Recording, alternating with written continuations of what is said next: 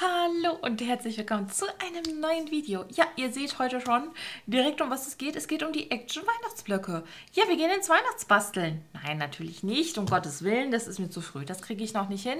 Ähm, nein, das kriege ich wirklich noch nicht hin. Auch wenn ich gestern das Weihnachts-Diamond Painting schon gemacht habe, aber hier, das schaffe ich noch nicht. Noch nicht, nicht heute. Vielleicht morgen. Ähm, ja, und zwar geht es darum, dass ich ein paar Fragen zu diesen Blöcken bekommen habe und die möchte ich euch natürlich gern beantworten, ähm, da ich da jetzt immer wieder da ähm, ein paar Kommentare zu habe. Gehen wir drauf ein, würde ich sagen. Machen wir. Und zwar ist die Frage, warum kauft man sich hässliche Blöcke, wenn man also warum kauft man sich einen Block, wenn man den hässlich findet? Warum macht man das? Wieso, weshalb, warum? Ähm, oder wenn man nur ein, zwei Papiere daran schön findet, warum tut man das? Das macht doch gar keinen Sinn. Das ist doch Blödsinn. An der Stelle, für die Leute, die das geschrieben haben, das ist nicht böse gemeint von mir, das ist alles fein, ich kann das verstehen. Die Frage, das ergibt schon Sinn, ähm, hätte ich vielleicht auch in dem Video dazu sagen können. Dann gab es aber auch sowas wie, ja, hm, man kann sich ja auch andere Blöcke kaufen, wo man ganz genau weiß, dass man das alles äh, toll findet. Das spielt natürlich dann in einer ganz anderen Preisliga, das ist klar.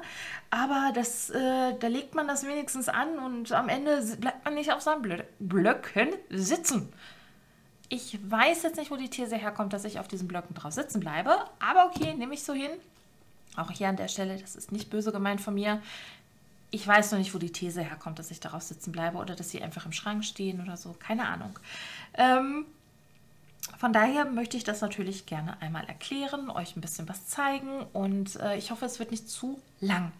An der Stelle vielleicht gebe ich die Frage auch an euch einfach mal weiter. Was macht ihr mit Papieren, die ihr nicht schön findet? Es ist ja, egal welche Form von Block, äh, immer mal ein Papier dazwischen, was man einfach nicht schön findet. Was macht ihr damit? Lasst mich das wirklich gerne mal wissen. Dann sammle ich eure Ideen mit. Ihr könnt mir da auch gerne Bilder schicken oder so bei Instagram. Findet ihr immer alles unten in der Infobox. Ihr wisst Bescheid. Klickt da einfach mal drauf, guckt euch da äh, einfach vielleicht äh, ein bisschen um und äh, dann sammle ich das und mache ich vielleicht noch ein Video dazu, zu den Sachen, wo ich selber jetzt nichts zu sage. Ich werde jetzt nicht alle meine Ideen, die ich immer dazu habe, zusammenfassen. So ein paar Kleinigkeiten werde ich jetzt aber mal zusammentragen. Ich möchte halt auch nicht, dass das Video zu lang wird.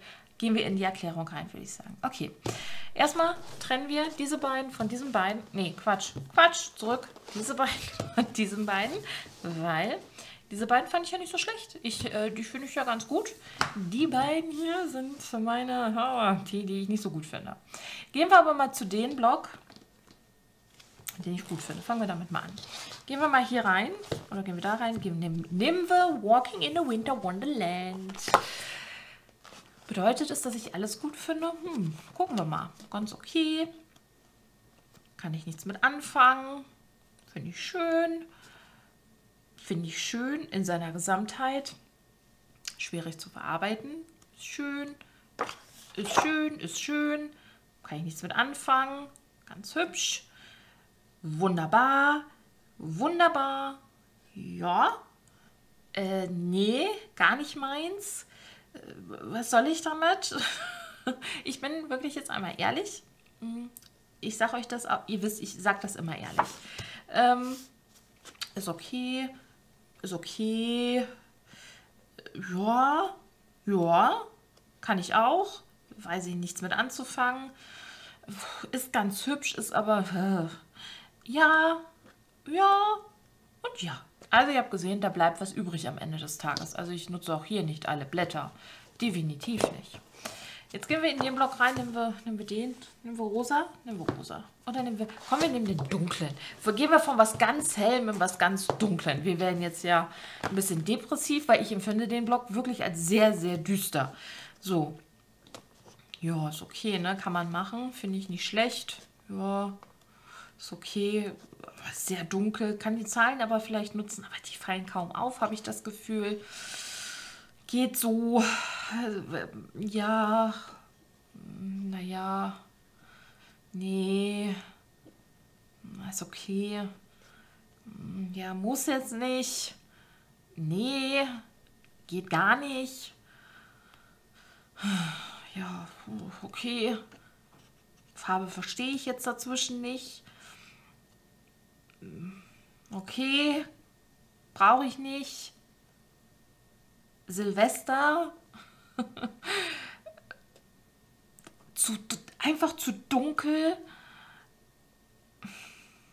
Ja.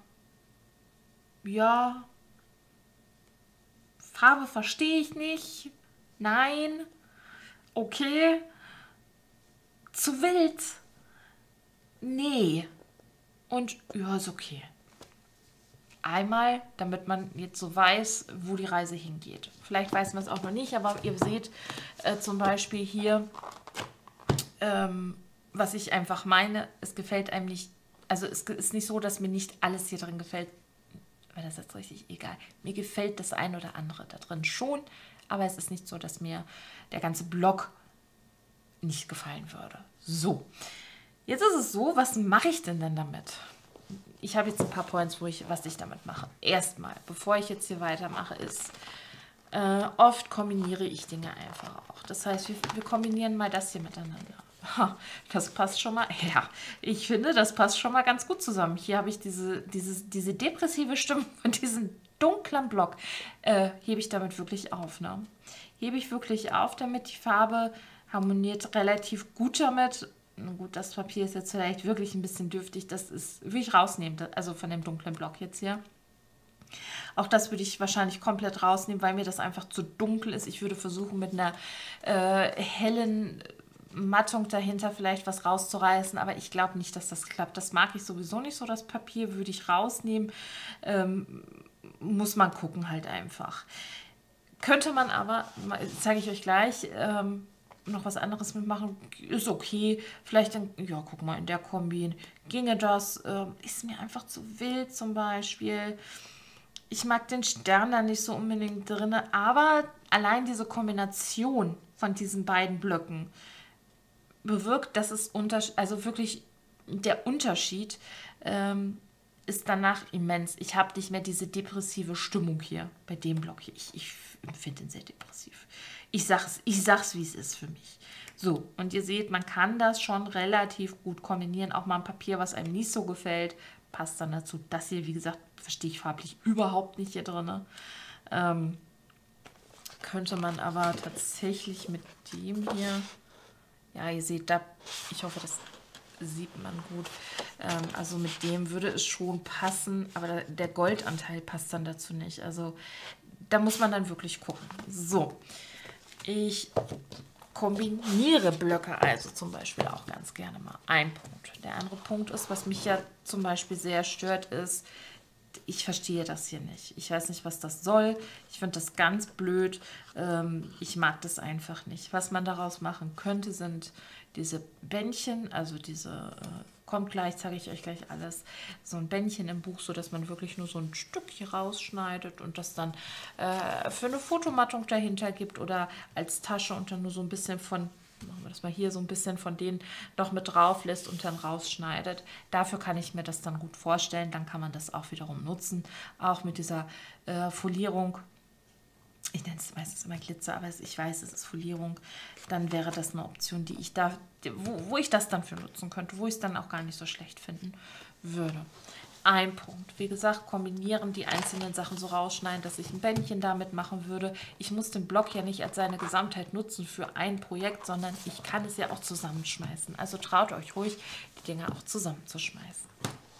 So, ich habe jetzt hier für Blöcke, zwei davon gefallen mir wie gesagt gar nicht. Man muss bedenken, da sind 24 Papiere dran. Wir haben eine Grammatur von 230 Gramm. So ein Block kostet 1,59 Euro im Angebot, ansonsten kostet er 1,99 ähm, da er nicht doppelseitig bedruckt ist. Ansonsten kosten die Blöcke, glaube ich, mittlerweile 2,99 Euro im Action, was für mich persönlich ein unschlagbarer Preis ist. Gehe ich jetzt hin und nehme natürlich den Block in einer anderen preislichen Liga, wie es genannt worden ist, bin ich bei sowas. Das ist Graphic 45. Hier habe ich 6 mal 12, also 12, ähm, also ich habe doppelseitig bedruckte Papiere, äh, zweimal jeweils, sprich ich habe sechs äh, Papiere am Ende, ne 8, 1, 2, 3, 4, 5, 6, 7, 8, 8, 6 mal 12, 12, to ach, da, ach, doppelseitig, mein Gott, ich bin auch schon ein bisschen durch heute. Ähm, also ich habe acht Papiere, die sind doppelseitig bedruckt in 12 x 12. Ähm, dazu habe ich noch ein paar Sticker. Ich hole euch das auch einmal raus, um einfach den Vergleich auch einmal darzustellen. Ähm, so, hier habe ich die Sticker noch mit, oder sind das Sticker oder sind das, ja, das sind Sticker. Ähm, steht auch oben groß drauf. Ne? Ich bin heute aber auch wieder. So, wie gesagt, ihr habt die Stickerbögen, zwei Stück. Ihr habt ähm, die Papiere hier drin. Es sind äh, acht Designs, jeweils zweimal in diesem Block drin. Ich wende das einmal und dann haben wir das auch nochmal. So kann ich natürlich jede Seite einmal benutzen. Ich habe das. Und wunderbar, das Ganze kostet mich 22 Euro, das Set. Und ich muss sagen, das kaufe ich wirklich nur dann, wenn ich weiß, was ich damit A machen möchte, was ich B mir damit auch vorstellen kann und wo ich auch ganz klar weiß, da geht die Reise hin und C, mir muss eigentlich so gut wie jede Seite gefallen. Das muss einfach. Ansonsten kaufe ich mir diese Blöcke tatsächlich auch nicht. Weil mir 22 Euro für Papier wirkt, das ist wirklich sehr, sehr, sehr viel Geld. Ich finde das extremst teuer. Äh, es ist ein teures Hobby, das weiß ich. Muss man nicht machen, kann man machen. Ähm, und wenn ich solche Blöcke dann kaufe, dann immer mit einem Hintergedanken und immer mit, der, mit dem Punkt, ich weiß, wo die Reise am Ende mit diesen Papieren auf jeden Fall hingehen wird. Und das zeige ich euch jetzt nämlich. So, aber erstmal räume ich hier anständig alles wieder weg. Moment, Moment, wir kriegen das hin. Die Sticker müssen auch wieder rein. So, ihr wisst, ich packe das immer in Tüten rein, meine Blöcke, damit ich äh, weiß, welche Sets zusammengehören. So, wie gesagt, das Set kostet 22 Euro. Hier kostet der Block 1,59 Euro. Gehen wir auf 2,99 Euro. Es ist ein Preisunterschied von 20 Euro und das ist immens. Teilweise sind diese Blöcke noch teurer, bis zu 30 Euro, 40 Euro, je nachdem, was man da kauft, wie viele Blätter drin sind und und und. Vorteil bei dem Block beispielsweise, ich kann die äh, Seiten auch einzeln nachkaufen. Also es gibt viele Vorteile, warum man sowas kauft, absolut. Warum kaufe ich aber sowas, auch wenn es mir nicht gefällt? Da gehen wir jetzt rein. Beispielsweise, ich muss mal nach da hinten greifen, mache ich mir damit Musterbücher. Ähm, das ist zum Beispiel ein Block gewesen, ein Weihnachtsblock, der mir überhaupt nicht gefallen. Ich fand den potten hässlich. Ich sag's wie es ist. Ihr wisst das. Ich fand den super hässlich. Hier ist das erste Buch und das ist aus den Resten gemacht worden. Fangen wir mal mit den Resten an.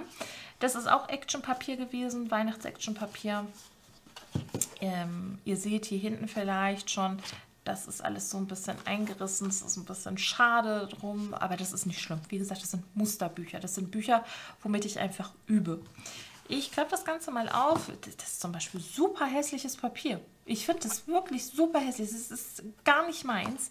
Bedeutet aber nicht, dass ich das nicht benutze. Sondern hier seht ihr, wie ich es benutze. Ich mache mir damit Muster. Ich probiere mich damit aus. Ich übe damit.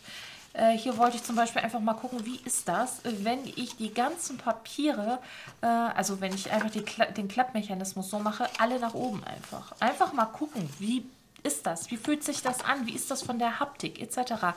Das weiß ich nicht, wenn ich das nicht übe. Und ich muss sagen, dafür nehme ich nicht den Block, kann ich nicht, bringe ich nicht übers Herz. Dafür kann ich aber den nehmen und da bringe ich das definitiv übers Herz.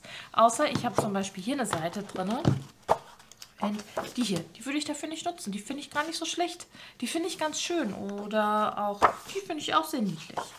Mm, die Sparkles liebe ich. Würde ich noch nicht mal unbedingt zu Weihnachten zählen. Also, das, was mir gefällt, nutze ich dafür natürlich nicht. Die Seiten ziehe ich mir raus, mache da andere Dinge mit. Kommen wir gleich auch zu. Aber in erster Linie mache ich mir Muster damit. Das heißt, ich habe jetzt dieses Album beispielsweise gemacht mit Restpapieren. Ich weiß äh, die Größe von meinen Papieren. Ich schreibe das natürlich auf. Ich weiß, was für Größen das hier alles sind und könnte das so, wie es jetzt hier ist, wieder nacharbeiten. Würde ich aber nicht, weil mir das so nicht gefällt. Gefallen würde mir vielleicht, wenn ich diese Seite immer nur nach oben klappe. Aber die andere Seite die würde ich nicht, nein, das würde ich nicht als Klappmechanismus machen. Vielleicht nach unten müsste man auch einfach einmal ausprobieren. Gefällt mir das dann besser. Muss man gucken.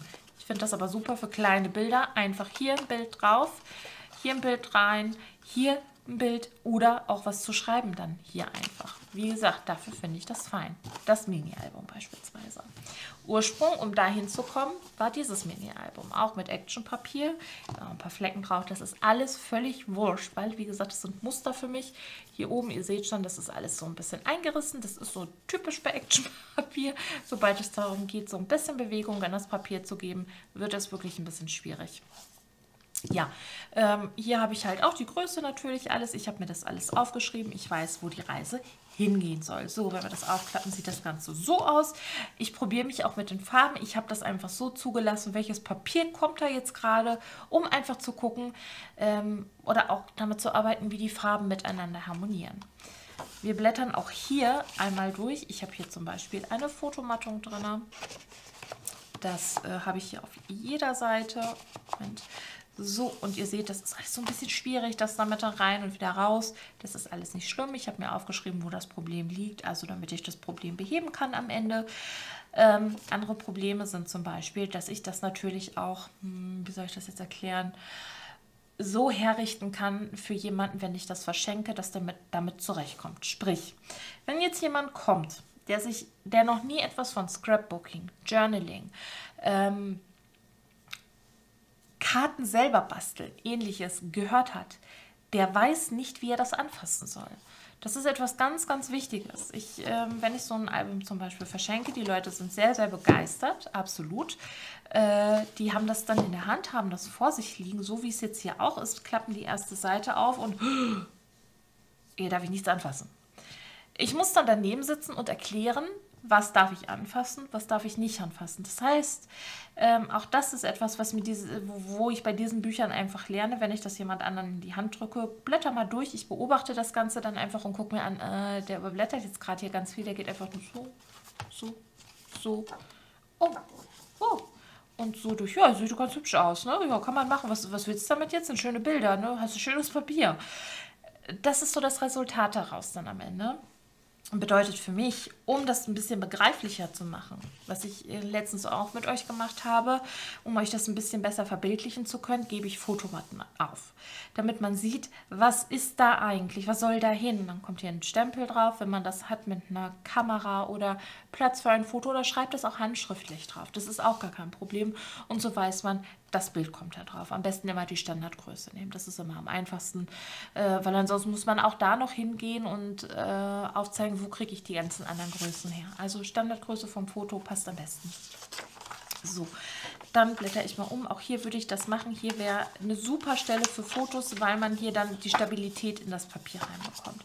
Hier könnte man was schreiben, zwei kleinere Bilder drauf geben, je nachdem. Vielleicht auch vorher absprechen mit demjenigen, der das bekommt oder alles selber schon von vornherein machen. Hier kenntlich machen, dass man hier umklappen kann, auch, auch ganz wichtig.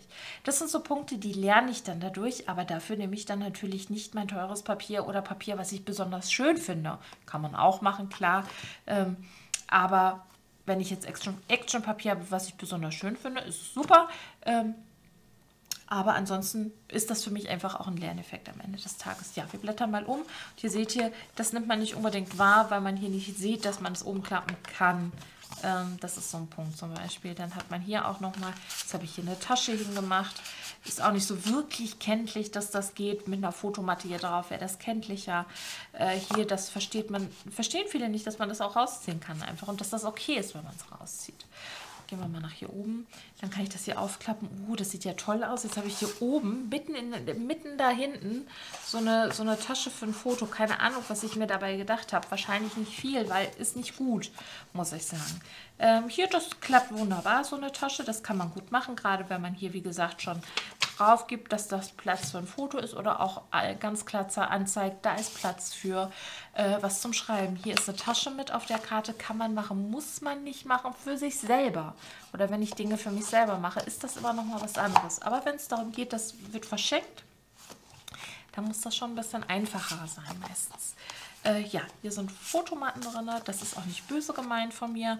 Ähm, ich kann das absolut nachvollziehen. Auch ältere Leute, wenn die das in die Hand kriegen, die sind so vorsichtig damit. Das ist... Äh, die sind da, die, die verstehen das dann nicht. Das ist nicht abwertend gemeint oder sonstiges, das ist nicht böse gemeint, sondern ich verstehe es auch, dass man das nicht versteht. Ganz am Anfang, als ich das das allererste Mal gesehen habe, da kam auch noch Wow. Ich war komplett überfordert damit. Ich wusste nicht, was ich da machen soll. Ich habe das nicht verstanden äh, und dachte mir, okay, ich darf das nicht anfassen. Aber ja, jetzt weiß ich mittlerweile wie und was. Zum Beispiel auch hier. Merry, äh, Merry Christmas and Happy New Year. Einfach so ein Test. Wie kommt das in so ein Buch rüber? Würde ich nicht machen. Ich würde jetzt eine Fotomatte drüber kleben, weil ich es ganz schlimm finde. Würde ich nicht nochmal in ein Album mit aufnehmen. Finde ich nicht gut.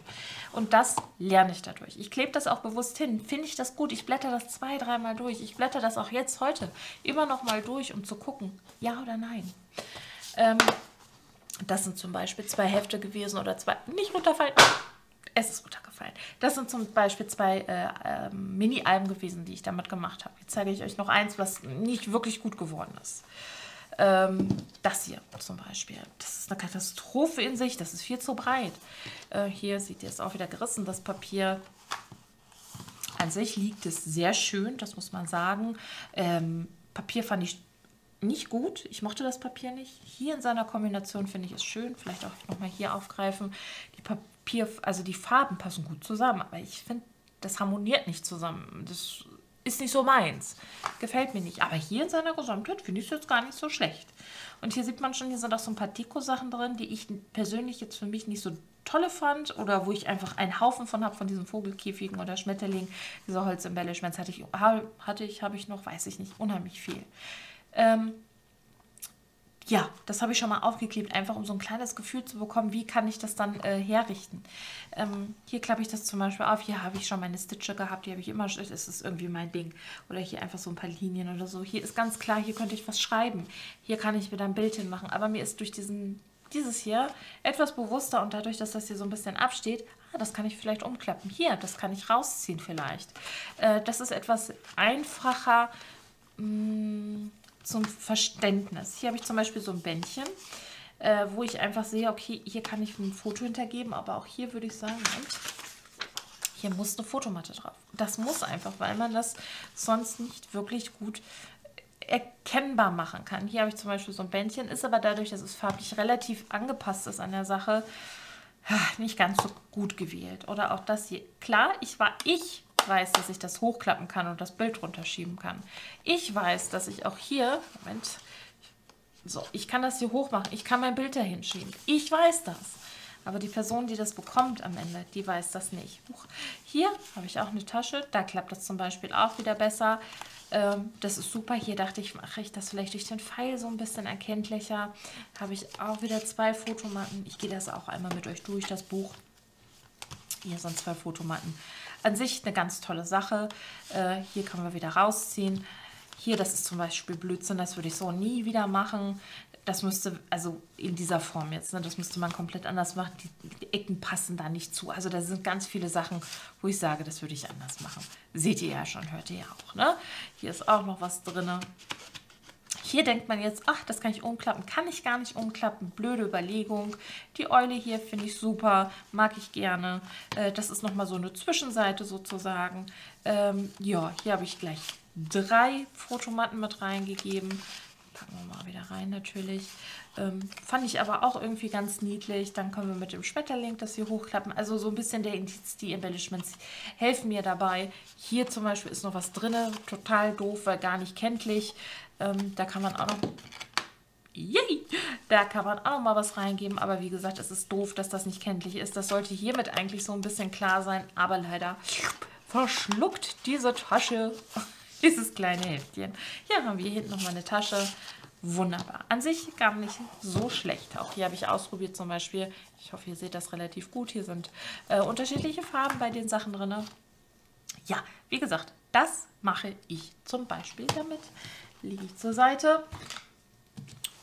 Und äh, ja, zeige ich euch noch ein Album. Ja, komm, ich zeige euch das auch noch, damit ich das, äh, habe ich mir nochmal hier hingelegt. So, das ist auch ein Album. Das ist, äh, ja, hier vorne ist ein Shaker-Element drauf mit den unterschiedlichsten Papieren zusammengewuselt eigentlich. Ähm, einmal kurz zur Erklärung, ganz einfache Seiten, nur mit ein Steck, also nur mit so Fotomatten ähm, hochwertiges Designpapier, Aldi-Papier. Ich glaube auch von Aldi. Aldi, Aldi oder Lidl, irgendwann gab es die mal dort. Die habe ich hier dann mit reingemacht. Hochwertigeres Papier, Aldi hochwertiger, Aldi, glaube ich. Also ich weiß es nicht mehr ganz genau so zuzuordnen, wo was hinkam. Aber ihr seht, das ist zum Beispiel auch sehr simpel und einfach gehalten. Ähm, und ja, so sieht dieses Album zum Beispiel aus. Ähm, außen, ich glaube, das ist auch Graphic 45 hier. Da hatte ich noch so zwei Bögen von. Dann das hier, der Stoff ist aus dem Action. Also die Kombination von den einzelnen Sachen mache ich auch gerne. Ich brauche nicht unbedingt nur die teuren Produkte, das wollte ich euch damit einfach zeigen, sondern kombiniere auch gerne mal ein Action-Papier mit einem Graphic 45 Papier. Das kann gut funktionieren. So, dann geht es weiter. Nächster Vorschlag von mir. Was mache ich zum Beispiel? Gehen wir mal hier rein. Ähm, das hier zum Beispiel noch, da können wir auch diese Bändchen schön machen, wo wir dann einen Kartenaufleger hintergeben können. Das meinte ich halt auch mit diesen hier. Einfach die rausschneiden, so ein Bändchen hier. Und dann kann man da immer schön ähm, auf einer Seite das Ganze draufkleben und dann das als Bändchen nutzen und dann da einen Kartenaufleger oder ähnliches hinter, äh, Kartenaufleger, ähm, eine Mattung hintergeben für ein Bild oder so. Das funktioniert ganz gut. Jetzt suchen wir mal was raus, was gar nicht geht. Ha, das hier geht gar nicht. Würde ich so nicht nutzen. Was soll ich damit? Die Grammatur ist nicht ausreichend für so eine Box, muss ich ganz ehrlich sagen. 230er Grammatur. Schwierig. Ähm, je nachdem, was natürlich noch mit rein soll. Würde ich nicht machen. Finde ich nicht schön. Würde ich hm, anders machen. Aber ich kann das zum Beispiel als Schablone nutzen das äh, klappt ganz gut. Ich kann mir die Schleife hier als Schablone nutzen. Und wenn man das zum Beispiel nicht hat, das würde ich vielleicht machen damit. Zum Beispiel. Ähm, ich würde es vielleicht nutzen, um irgendwelche Sachen, wenn ich was falte oder so, ausprobieren möchte, wenn das 30 mal 30 sein soll, das Papier. Das ist nicht selbstverständlich, dass ich 30 mal 30er Papier zu Hause habe. Dann geht es weiter. Was mache ich noch? Nehmen wir mal noch ein Papier, welches ich ganz hässlich finde. Oder was ich zum Beispiel, das finde ich zum Beispiel sehr hässlich. Haben wir noch was Wildes? Das ist relativ wild hier gewesen. Warte, nehmen wir mal das wilde Papier her. Ist es schön von den Farben her, alles schön und gut, aber ich finde es einfach zu wild. Was mache ich dann? Ich nehme Gesso. Ich schmiere da auch Gesso einfach drüber. Ihr wisst, ich nehme den Pinsel, ich geh, bin da gnadenlos, gehe da drüber. Das mache ich aber nur deswegen, weil ich das vorher mit solchen Papieren geübt habe. Ich weiß, wie sich das Papier verhält in der Regel. Ich weiß, wie das Action-Papier das leiden kann oder nicht leiden kann. Ähm, ich nehme das auch gerne einfach, um unterschiedliches Gesso auszutesten oder auch andere Sachen oder ähm, einfach auch, ähm, wenn ich das stress oder so, dann kann ich das auch immer gut hier mit ausprobieren. Ich mache mal ein anderes, eine andere Seite. Das hier äh, finde ich sehr schwierig. Was ich machen würde, das hier abtrennen, würde ich ein Bändchen damit machen? Nein, finde ich nicht schön. Ich würde aber diesen Teil zum Beispiel nehmen, mir einen großen Tag aus diesem Teil machen. Ähm, auch wieder mit Gesso drüber gehen, würde ich auch dann in dieser Höhe so nutzen. Ist völlig egal, dass das dann falsch rum ist. Äh, auch dann das Ganze ähm, anrauen, das Papier an der Seite, an der Kante. Dann mit Gesso, wie gesagt, drüber gehen, mit äh, Distress Foto drüber gehen und die Rückseite dann mit etwas bekleben, was äh, nicht ganz so dick ist, vielleicht mit Serviette bekleben. Auch hier vielleicht ein Stück Serviette mit äh, einem Schriftbild Wunderbar finde ich das. Und dann schön viel Deko vorne drauf. Fantastisch. Kann man zum Beispiel auch damit machen. Was ich auch gerne mache, ist, dass ich hingehe. Ich nehme jetzt diesen Sugar Spice and Everything Nice Block. Oh Gott. Ähm, und beschränke mich darauf und sage, pass auf, du nimmst jetzt nur diesen Block, auch wenn er dir nicht gefällt und du versuchst das Beste aus diesem Block rauszuholen. Das machst du jetzt, das mache ich zum Beispiel auch hiermit. Ich habe gesagt, ich möchte etwas für Anfänger machen und ich möchte etwas machen, was einfach ist und ich möchte etwas machen, was woran ich auch Freude habe. Dieses Album, das könnt ihr auch, ich verlinke euch diese Videoreihe dazu, äh, da beschränke ich mich ja auch ausschließlich auf dieses Set. Ich nutze nichts anderes außer meinen Stift, Kleber und Schere, genial. Ähm, und mehr mache ich dann nicht und dann werkle ich an diesem Album. Ich mag das unheimlich gerne, weil ich dann einfach auch naja, man ist in dem Moment nicht so überfordert mit der Sache, sondern man hat halt nur das. Ich kann ja nur mit dem arbeiten, was ich in dem Moment habe. Wenn mir das zu wild ist, das Papier, hm, was finde ich denn jetzt sehr, sehr wild? Nee, die würde ich so lassen tatsächlich. Das hier finde ich sehr wild, ne? Da würde ich vielleicht tatsächlich einfach mit Gesso drüber gehen, damit ich es runtertrimmen kann wieder. Ähm, ich würde schauen, was äh, mit welchem anderen Papier aus dem Set ist es kombinierbar, damit ich es vielleicht ein bisschen runterhole. Das dunkle Papier ist da vielleicht gar nicht so schlecht für. Was kann ich da drüber geben? Hier, das hier und nimm dann nur so ein kleines Stück daraus. Das kann man dann auch machen und das macht man dann auch, indem man ähm, sich daraus so ein bisschen, naja, beschränkt und dann, und das ist mir seitdem äh, viel leichter gefallen ist, wenn man dann so einen teureren Block hat, wo vielleicht das wo zwei, drei Blätter zwischen sind, die nicht schön sind, stört einer gar nicht mehr, weil man weiß, das kann ich jetzt so und so unterbringen, ohne dass es mich dann am Ende stört, weil mir die Seite nicht gefällt. Ja, das einmal dazu. Fällt mir jetzt noch irgendwas ein? Es war sehr... Ähm, theoretisch alles. Ich weiß, ich habe versucht mit den Alben euch so ein bisschen was zu zeigen, aber jetzt einfach so ein Album mal schnell aus der äh, Hand äh, geschüttelt, das schaffe ich auch nicht. Das dauert ein paar Videos. Also so ein... Ähm, äh, ich nehme jetzt mal das an, die anderen komme ich so schlecht dran. Ne? So ein Album mal eben zu basteln, das dauert. Also das ist nicht in 30 Minuten gemacht. Ähm, das dauert eine ganze Weile und ja, je nachdem, was man auch machen möchte und so, da muss man einfach gucken. Ja, an der Stelle bin ich extrem gespannt auf das, was ihr mit euren Sachen immer macht, wenn ihr da Blätter übrig habt. Ich bin da wirklich sehr gespannt drauf. Also ich äh, freue mich auch drauf, das zu lesen. Äh, ich werde heute Abend mit dabei sein, wenn ihr schreibt. Und äh, werde sofort antworten. Ihr wisst, ich lese die Kommentare, ich antworte so gut es geht immer auf die Kommentare oder beziehungsweise so gut es geht nicht, sondern so schnell wie möglich immer auf die Kommentare. Und ähm, ich verlinke euch wieder alles in der Infobox, falls ich irgendwas verlinken kann. Ganz am Ende verlinke ich euch auf jeden Fall diese Videoreihe nochmal, falls ihr da Interesse habt. Und ansonsten habe ich noch was, was ich als Info habe. Wie gesagt, ihr könnt mir dann auch gerne ein Bild schicken bei Instagram oder so. Dann gucke ich mir das an und versuche das dann vielleicht mit den Blöcken dann auch zu machen. Wir gucken einfach mal, was draus wird. Vielleicht schreibt auch keiner was, dann wird nichts draus. Dann nehme ich halt nur meine Ideen, die ich dazu habe und nehme euch da dann auch gerne nochmal mit. Und ansonsten, ja, haben wir es, ne? Ich hoffe, ich habe nichts vergessen. Ich habe mir so viel hingelegt. Ähm, um so ein paar kleine Eindrücke einfach zu vermitteln. Und ich hoffe, äh, das ist rübergekommen. Und ansonsten noch einmal für die Leute, die das geschrieben haben, es ist nicht böse gemeint gewesen, sondern ich habe jetzt wirklich einfach mal erklären wollen, wie und was, weil ich glaube, in Schriftform ist das dann doch immer noch mal ein bisschen schwieriger. Und ich dachte mir, so ist das vielleicht einfach leichter zu vermitteln. Okay, an der Stelle jetzt reicht's. Wenn es euch gefallen hat, lasst ein Däumchen da. Wenn ihr mehr sehen wollt, was damit passiert, was mit euren Ideen passiert. Lasst auf jeden Fall gerne auch ein Abo dann da. Und ja, ich bedanke mich fürs Zusehen und würde sagen, bis zum nächsten Video.